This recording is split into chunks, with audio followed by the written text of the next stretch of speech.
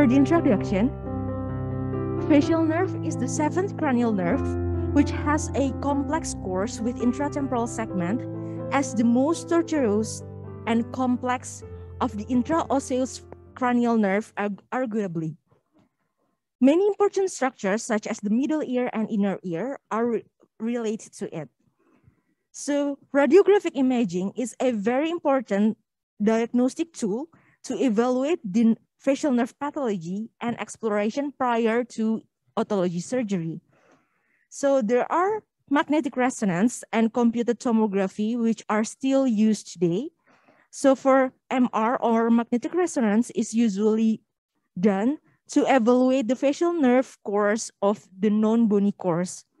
Meanwhile, the CT scan is usually used to evaluate the bony course or the intratemporal portion of the facial nerve.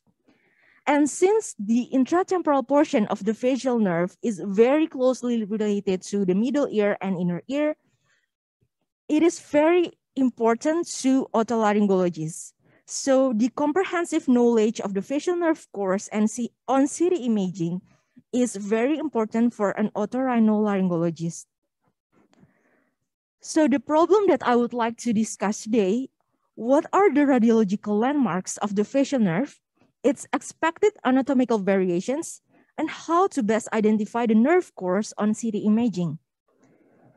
This, discussion aims to provide better understanding and comprehensive knowledge in identifying facial nerve course on CT imaging. So let us begin the discussion. Facial nerve is divided into three parts. The first one is intracranial portion, intratemporal portion, and extratemporal portion, which is then divided more into the intracranial portion into intraaxial and cisternal segment, and the intratemporal portion into meatal, labyrinth, tympanic, and mastoid segments. For the first portion, intracranial portion is best evaluated on MRI. It starts at the cerebral, cerebral cortex down all the way to the pons or of the brainstem to reach the facial nucleus. Here, some of the uh, some of the fibers decussate or some synapse with the facial nucleus at the ipsilateral side. After that, it runs posteriorly to around the abducens nucleus before finally runs anteriorly to finally emerge at the pontomedullary junction. When it exits the brainstem, it becomes the cisternal segment. It then runs laterally with the intermedius nerve together to enter the uh, IAM or internal acoustic meatal. It then begins the intratemporal portion of the facial nerve. So the intratemporal portion has the length of approximately 14 millimeter. It starts when the facial nerve enters the internal acoustic meatus and exits inferiorly via stylomastoid foramen. The first segment of the meatal segment starts at the IM and ends at the apex or the fundus of IAC or internal acoustic canal. Its length is about 24 millimeter. However, on CT scan, we can only see the IAC. We cannot really differentiate which one uh, the facial nerve compared to other related structures inside the IAC, such as the vestibulocochlear nerve. To differentiate more of the facial nerve, we need to perform MRI. Next, the labyrinth segment starts when the facial nerve exits the IAC and runs anterolaterally to reach the geniculate ganglion or the first genu. This is called the first genu because after it reached the geniculate ganglion, the facial nerve then turns posterior and laterally to become the tympanic segment. Labyrinth segment runs between the cochlea and uh, the semicircular canal posteriorly. This is the uh, shortest of the facial nerve segments. Uh, at the tympanic segment, it runs horizontally from the geniculate ganglion, posteriorly and laterally, and sometimes it is also called the horizontal segment. At first, at the anterior, we can see it runs between the cog and the cochleariform process, and it runs laterally and posteriorly to reach the uh, superolateral to oval window, and it runs inferior to the lateral SCC. Its length is about 8 to 11 millimeter. Until this point, we can evaluate the segments of the facial nerve on axial plane of the CT scan. Next, after the, the tympanic segment reach posteriorly, it will then make the second genu or the second turn inferiorly. This posterior or second genu um, marks the beginning of the mastoid segment that runs inferiorly inside the facial canal and exits at the stylomastoid foramen. For the mastoid segment, it is best to look at, uh, at on CT scan on coronal plane of the CT scan instead of the axial plane. Because on the axial plane, we can only see black dot of the mastoid segment since it runs inferiorly compared to uh, the coronal plane. On mastoid segments, the facial nerve gives off three branches. The first one is the stapedial nerve. The second one is chordae tympani. And the third one is the auricular branch of the vagus nerve we can also evaluate the branches of the facial nerve on CT scan. The first one is the stapedial nerve. So this one, this big arrow is the facial nerve. The curved arrow is the stapedial, stapedial muscle and the small arrow is the stapedial nerve. So we can see here that the stapedial nerve is actually runs very short to enter the stapedial muscle. And on the image below, this is the sagittal, sagittal view of the CT scan. Here is the facial nerve, and it branches off as the chordae tympani. After it exits the stylomastoid foramen, it, immediately branches as posterior auricular nerve, superior auricular nerve, occipital belly of occipital frontalis muscle, and digastric nerve. This marks the beginning of the extratemporal portion and after that, it enters the parotid gland to give off five branches. So when to use MRI and when to use HRCT? MRI is good for intracranial and extratemporal portions of the facial nerve since it runs uh, not inside a bony canal. And it is also good for perineural spread and parotid malignancy, tumor, uh, etc. And for CT scan, it is best to look for the intratemporal portion since it runs inside a bony canal called the fallopian or facial canal. And this facial canal starts at the labyrinth segment all the way to the stylomastoid foramen. CT scan is also used when MRI is contraindicated, such as when the patient use cochlear implant or pacemaker. So after we have performed the CT scan on the patient, we would like to evaluate the temporal bone as a whole first. So there are several settings to make the uh, evaluating our temporal bone CT scan optimal. The first one, uh, when we when the radiologist or the radiographer take the CT scan uh, pictures, it uh, it will be on axial plane parallel to hard palate and then about 0.6 millimeter slices with 0.3 millimeter intervals. What matters to us as otolaryngologists are from this one, the bone window and the reformatting. So for the windowing for temporal uh, CT scan, it is known as bone window, but there is actually more specific windowing for evaluating the temporal bone CT scan. For the window width, of 4,000 Hounsfield units, and the window level, some literature mention 800, some literature mention 1,000 Hounsfield units. And after we set the windowing, we need to reformat the CT scan in multiplanar reconstruction or MPR. First, we need to make the temporal bone uh, symmetrical, and then we reformat the CT scan into the basic planes of axial coronal sagittal, and then maybe if, if needed, Pöschl and Stenvers views, advanced fuse of the temporal bone. However, among these views, among these planes, actually axial plane can give the most information among the uh, five mentioned here.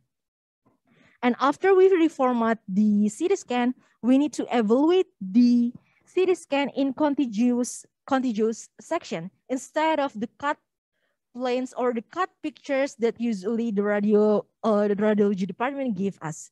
So it it is best to evaluate the temporal bone CT scan on DICOM files because temporal bone is actually only three centimeter thickness, but it has a lot of, it is tightly packed with a lot of structures. So if we want to evaluate those structures best, we need to have the uh, thinnest slice and we can scroll down, up and down uh, the DICOM files.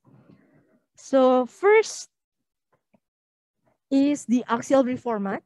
Auxiliary format is actually the default format of the CT scan, but we can make it more symmetrical and more symmetrical. So I will, so this is the example of scrolling of the axial plane of this temporal bone CT scan superiorly to inferiorly. The first structure that we can see on temporal bone is the superior SCC. We then scroll down until we find here uh, to evaluate the facial nerve on temporal bone CT scan, we can uh, use two approaches.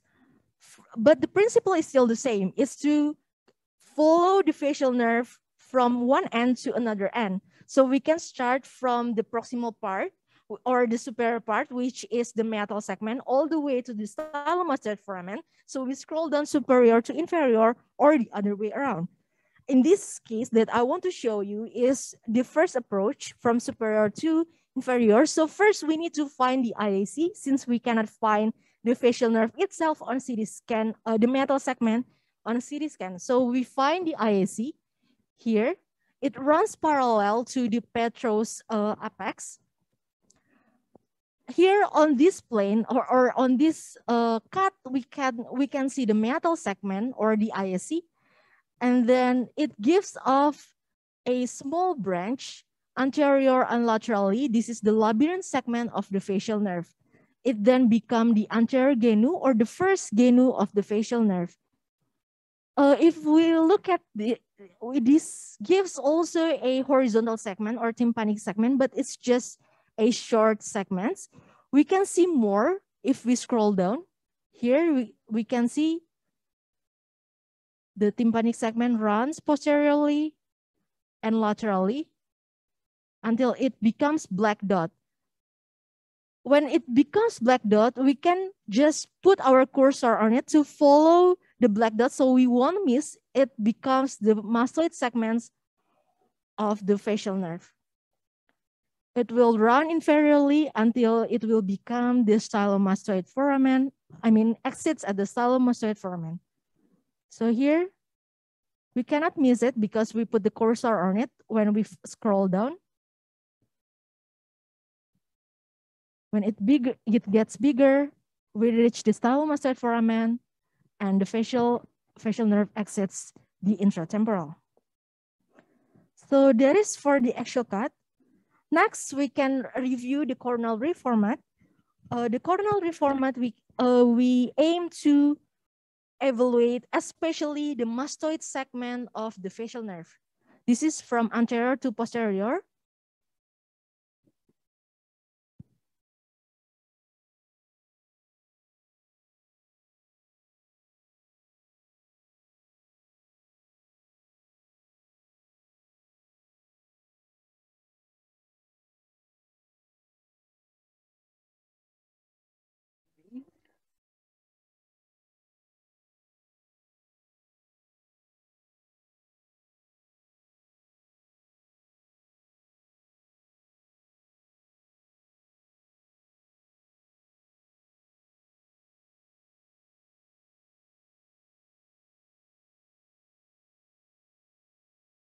Here, when we see the mastoid process, on this cut, we can see the mastoid segment of the facial canal, and it exits at the stylomastoid foramen.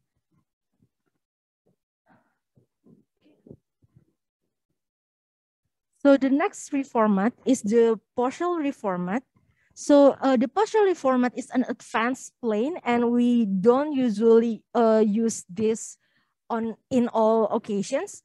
So Pöschl reformat is and Stenvers reformat is, are good for evaluating the semicircular canal since it will um, make all of the uh, semicircular canal all seen.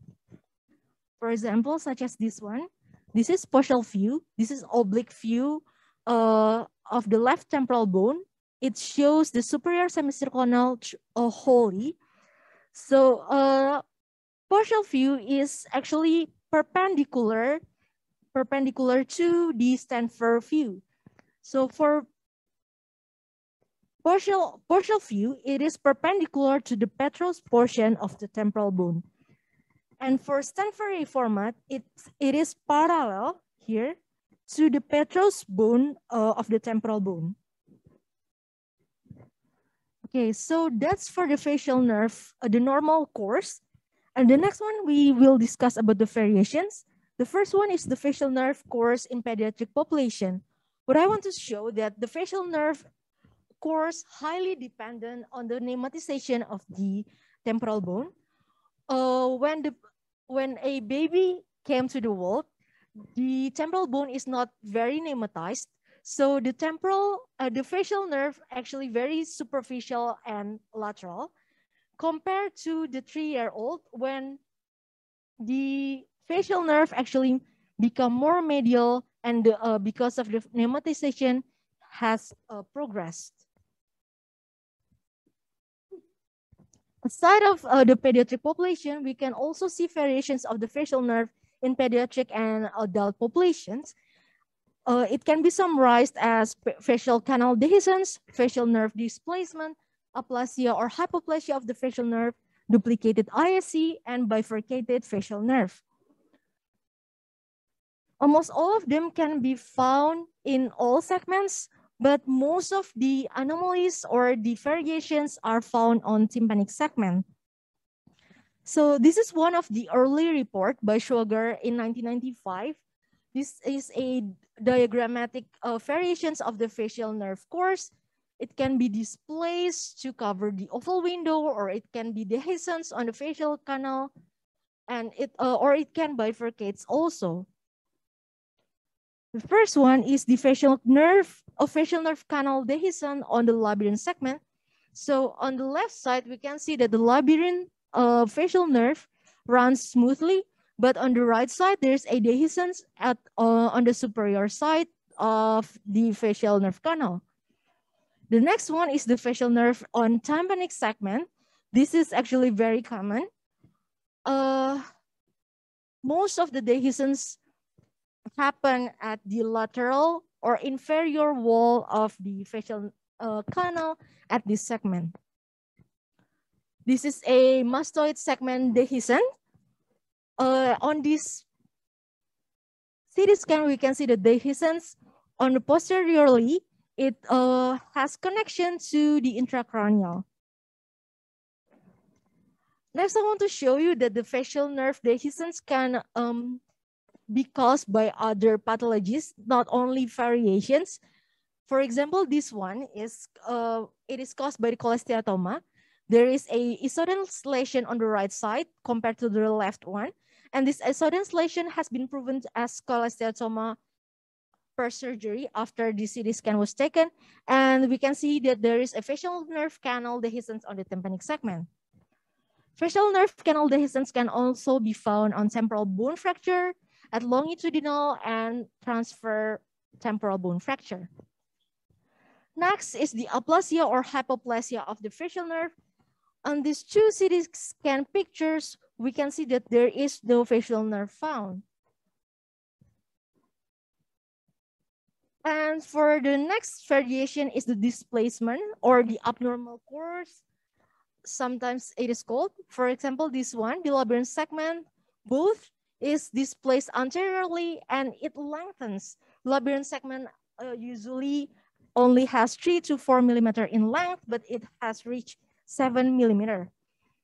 Next is the displacement of the tympanic segment. It is displaced more laterally and posteriorly than the normal course. Uh, the next variations is the IAC duplication. So usually uh, when you will look at the IAC, it's only like black uh, dance of the CT scan, but we can see there's a bony septum inside the IAC here. This is also a good example. We can see that the facial nerve exits anteriorly and the vestibulocochlear nerve exits posteriorly, but there is a bony septum here. Next is the bifurcation. So the facial nerve become two. And this one is exa example of the labyrinth segment. This is actually quite rare, even among the bifurcation cases. Next one is the tympanic segments. We can here see a very thin bony septum, which is not usually common in the tympanic segment. And the next one is the bifurcation on the mastoid segments. Here, we can see that the facial nerve is uh, two black dots instead of one. And here, if we follow it down, we can see that it exits at separate they exit at separate stylomastoid foramina.